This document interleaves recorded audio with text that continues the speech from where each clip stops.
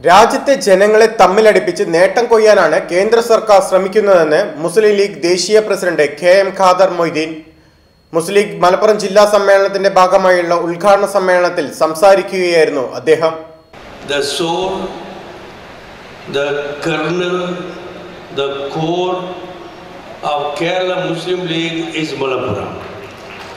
It is from Malappuram the light of Muslim League spread not only throughout Kerala state but now it is spreading throughout India.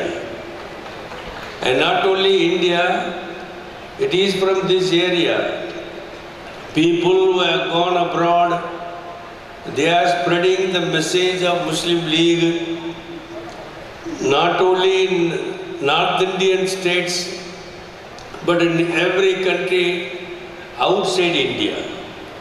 Muslim League in its mission, in its message has become an ideal and admired ideological political organization which was appreciated not only in northern India but the countries abroad.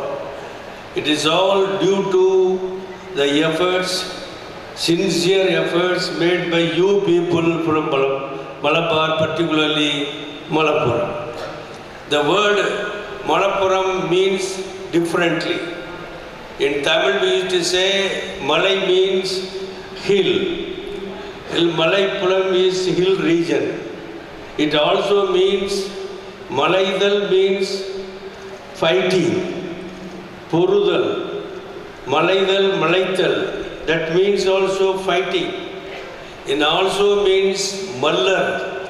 In Tamil literature, Mallar means born fighters.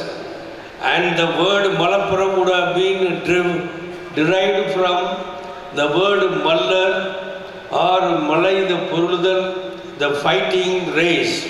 And the people who had inhabited and originated this area would have been.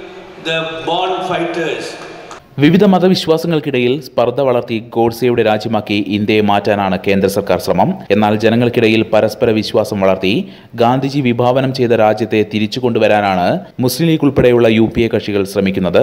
രാജ്യത്ത് ജനാധിപത്യവും മതേതരത്വവും സംരക്ഷിക്കാൻ എന്നും പോരാടിയ പ്രസ്ഥാനമാണ് മുസ്ലിം league. ന്യൂനപക്ഷ പിന്നോക്ക വിഭാഗങ്ങളുടെ അവകാശങ്ങൾ പാർലമെന്റിൽ അവതരിപ്പിക്കാനും അവ സംരക്ഷിക്കാനും പാർലമെന്റിലെ മുസ്ലിം ലീഗ് അംഗങ്ങൾ എന്നും മുന്നിലുണ്ടാകുമെന്നും അദ്ദേഹം പറഞ്ഞു. മുസ്ലിം ലീഗ് ജില്ലാ പ്രസിഡന്റ് സയ്യിദ് സാദിഖ് അലി ശിഹാബ്തങ്ങൾ അധ്യക്ഷത വഹിച്ചു. രാജ്യത്തെ ബഹുസ്വരതയെ ശക്തിപ്പെടുത്താനാണ് ഇക്കാലമെത്രയും മുസ്ലിം ലീഗ് ശ്രമിച്ചത്.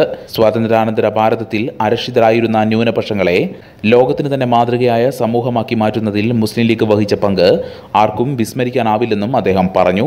ഡൽഹി സംസ്ഥാന ന്യൂനപക്ഷ commission chairman doctor Zafarul Islam Khan മുഖ്യാതിഥിയായി സമ്മേളനത്തോടനുബന്ധിച്ച് പുറത്തിറക്കിയ സുവനീർ മുസ്ലിം ലീഗ് ദേശീയ സമിതി അംഗം എം അഷ്റഫ് മൂപ്പന് നൽകി ദേശീയ general secretary P K Kunhalikutty M P പ്രകാശനം ചെയ്തു The Kottakkal Cooperative Urban Bank Limited, Head Office, Kottakkal. 24 branches.